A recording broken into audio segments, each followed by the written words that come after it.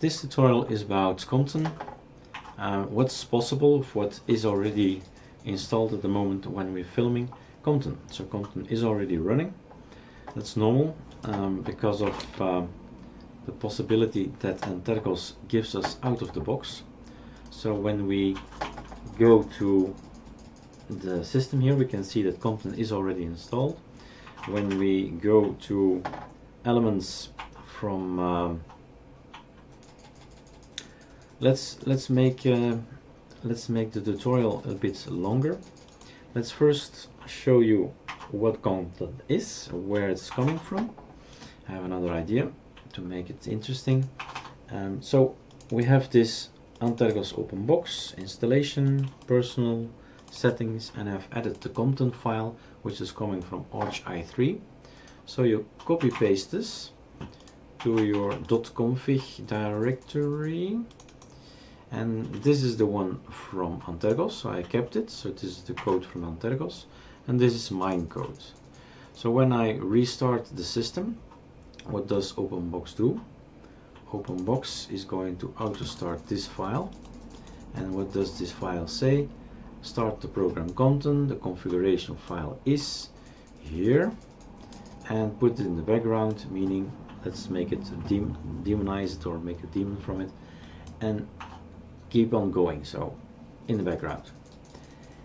So when we reboot this file will be loaded and it's coming now from github rather than from Antergos and let's now take a look at what the difference is. If you open things and close things it's a bit slower it's fading in and fading out. The menus are transparent.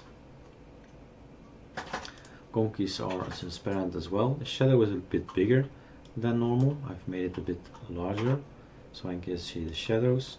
When we open some different programs you'll see immediately the difference between uh, previously. So when we click here this is transparent, it's not active so it's gonna be transparent.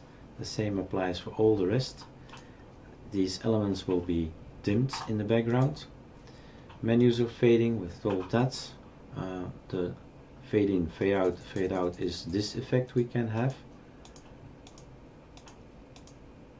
So all these elements do matter and makes our system a little bit more sexy and, and slow and Compton is not that difficult to understand. So let's take a look at our .config file which is here. Compton, all you need to know there are a few blocks there's the block about shadow there's a block about opacity and the block about fading.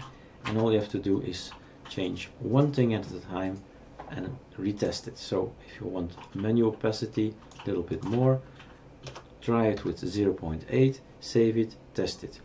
And then figure out what you like and don't like. Figure out if you want to have active opacity 0.8 or frame opacity 0.8 do you want it or not it's between these numbers that you should fill it in. And best thing is to try one by one and see uh, so you know after time what you changed and change it back if it's not to your liking. So that's uh, Compton for you. It's uh, it's easy. It's already installed. We only change the, the content of this file and we can ch change it even more and make it even more individual that's up to you.